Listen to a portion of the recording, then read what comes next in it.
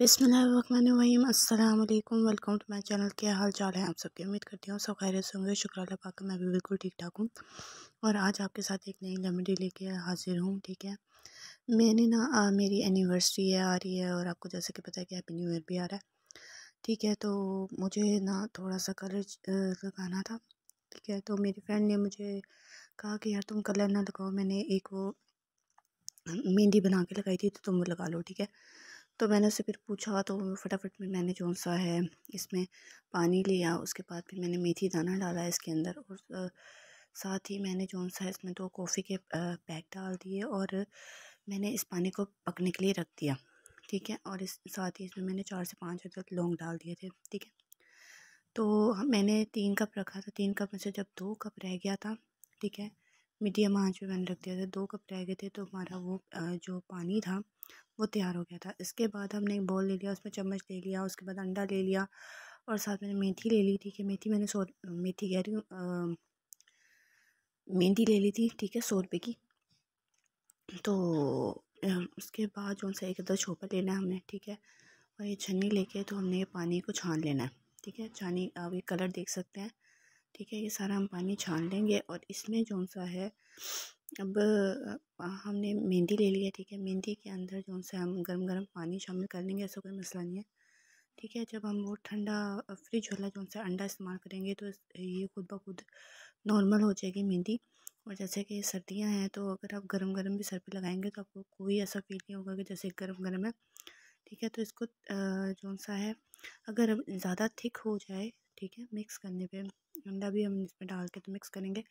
और अगर आपको लगे कि ज़्यादा थिक हो गई है तो आप थोड़ा सा इसमें पानी भी ऐड कर सकते हैं सादा ठीक है? ये मत सोचिएगा कि कवर जो हमने मतलब पानी बनाया था वो तो ख़त्म हो गया तो अब हम इसमें और कुछ नहीं डाल सकते। या हमने अंडा डाल दिया इसके अलावा हम कुछ नहीं डाल सकते तो अब सादा पानी भी थोड़ा सा इसमें ऐड कर लें ताकि ये जो से थोड़ी सी पतली सी बन जाए।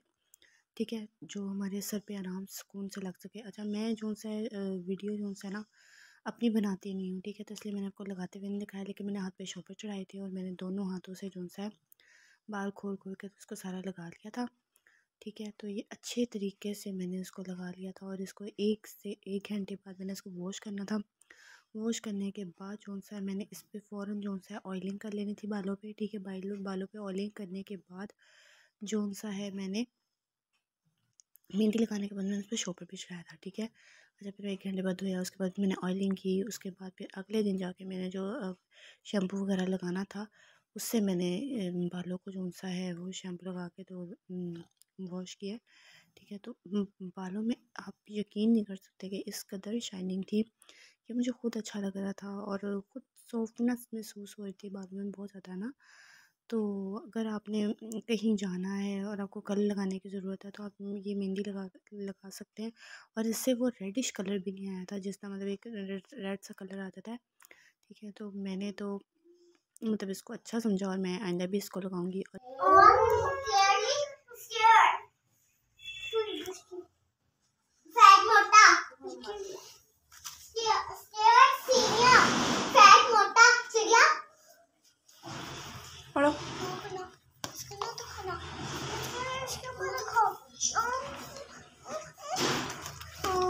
ये देखिए इस बच्ची की कारस्तानियाँ ब्रश फंसा के बैठ गई, कंगा।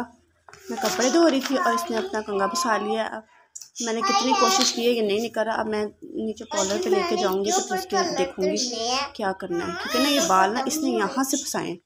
तो कटिंग भी करवाऊँ तो मैं इसकी क्या करवाऊँ?